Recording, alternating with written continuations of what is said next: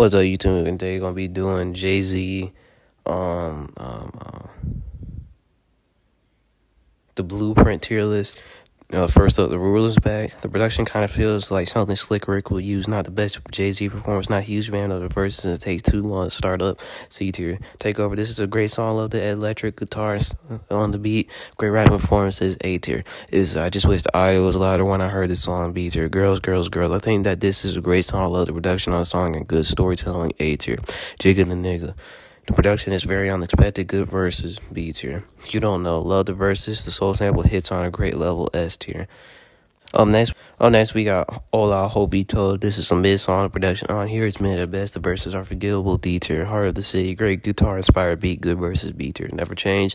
Great production. Love the verses on the song. A tier. Song Cry. One of the best beats on the album. Great verses. A tier. All I need. I'm not too crazy about this song. The verses on the song were average. B tier. Renegade, one of the best features of all time. Great lyricism, great beat as well. S tier. The Blueprint, very forgettable song. The reduction on here is mid. S, I mean C tier. Lyrical exercise. This was a great lyrical experience. Bars like I can make Jack start jumping is excellent.